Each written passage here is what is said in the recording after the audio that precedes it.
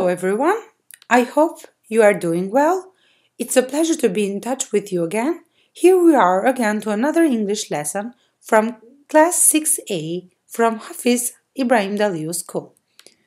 In this lesson, learning outcomes are Students practice module vocabulary about weather, clothes, etc.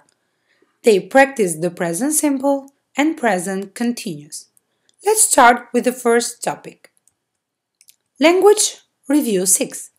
Let's have a look on these exercises. But before going to that, I'm going to explain you the word that we use to describe the weather.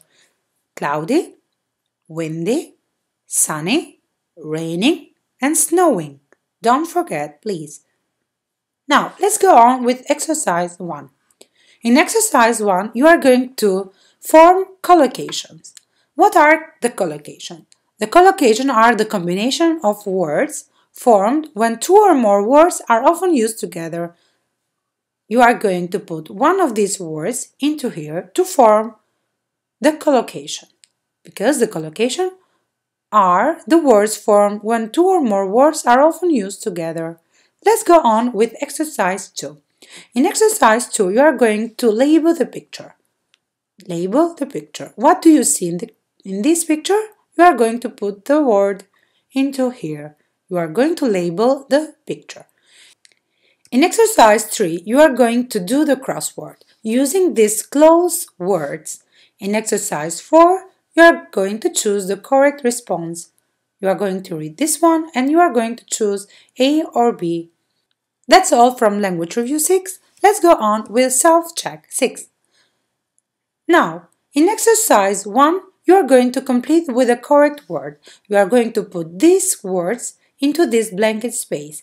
In exercise 2, you are going to find the old word out. It means that you are going to omit the wrong one. In exercise 3, you are going to put the verbs in bracket into present simple or present continuous. I, blanket space, not want to go out. When we have one, we always use present simple. I don't want to go out. I, blank space, do is the verb, my homework now.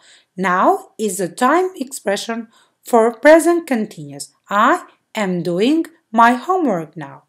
Now you are going to do the rest. Let's go on with exercise 4. In exercise 4, you are going to put the verbs in brackets into the present continuous, only in the present continuous form.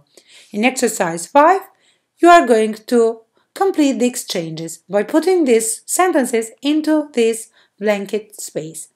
I hope you enjoyed the lesson. That's all for today. Thank you.